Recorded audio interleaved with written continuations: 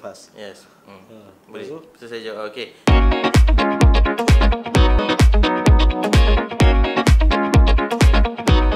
Bismillahirrahmanirrahim. Assalamualaikum warahmatullahi wabarakatuh. My name is Ustaz Muhammad Zuhaili. And I'm Ustaz Mazlan bin Harun.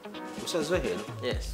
uh, when do Muslim start and break their fast? The Muslim starts to fast only after sahur, their sahur, and then they will break their fast only after iftar. But maybe you can explain to us what is iftar and what is sahur, or what is sahur, what is iftar. Yeah. Sahur uh, to serve before dawn and iftar to serve after sunset. So we can eat in between or how? In between, you cannot no food for at No all. food. Eh? No Yeah. food. You have to fast. No food. Okay. Alright. Don't forget to sahur and why not iftar together with us at, at Istighfar Mosque? Hashtag Istighfar Ramadan. Bye.